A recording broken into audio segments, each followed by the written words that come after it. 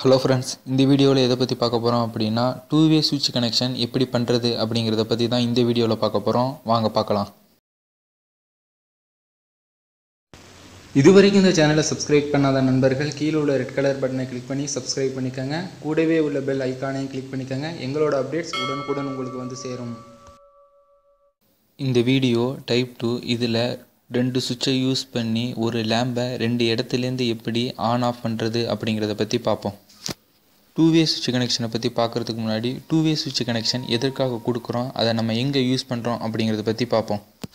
உதாரணமாக அப்பார்ட்மெண்ட்லேயோ இல்லை வீட்லேயோ நம்ம நைட் டயத்தில் கிரவுண்ட் ஃப்ளோர்லேருந்து ஃபஸ்ட் ஃப்ளோருக்கு போகிறோம்னு வச்சுக்குவோம்.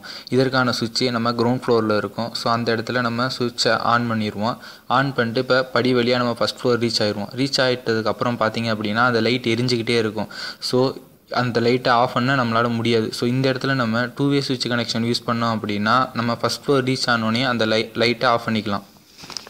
இப்போ நீங்கள் ஸ்க்ரீனில் பார்த்துக்கிட்டு இருக்கிறது தான் டூ வே சுவிட்சு இதில் மேலே உள்ளதை அப்புன்னு சொல்லுவோம் கீழே உள்ளதை டவுன்னு சொல்லுவோம் சென்ட்ரலில் உள்ளதை காமன்னு சொல்லுவோம் இதோட கனெக்ஷனை பார்த்தீங்க அப்படின்னா ஃபஸ்ட்டு சுவிட்சோட அப்பையும் செகண்ட் சுவிட்சோட டவுனையும் கனெக்ட் பண்ணுங்கள் அதுபோல் ஃபஸ்ட்டு சுவிட்சோட டவுனையும் செகண்ட் சுவிட்சோட அப்பையும் கனெக்ட் பண்ணுங்கள் ஃபேஸை எடுத்தாந்து ஃபஸ்ட்டு சுவிட்சில் காமனில் கொடுங்க. நியூட்ரல் எடுத்துகிட்டு போயிட்டு பல்பில் கனெக்ட் பண்ணுங்கள் பல்போட இன்னொரு டெர்மினலை கொண்டாந்து செகண்ட் சுவிட்சில் செகண்ட் சுவிட்சோட காமனில் கனெக்ட் பண்ணுங்கள் ரெண்டு சுவிட்சுமே ஆன்லேயோ இல்லை ஆஃப்லேயோ இருந்தது அப்படின்னா பல்பு வந்து ஆனில் இருக்கும். இல்லை ஏதாவது ஒரு சுவிட்சு ஆன்லேயும் ஒரு சுவிட்சு ஆஃப் ஆஃப் கண்டிஷனில் இருந்தது அப்படின்னா பல்ப் வந்து என்னென்னா ஆஃப் கண்டிஷனில் இருக்கும்.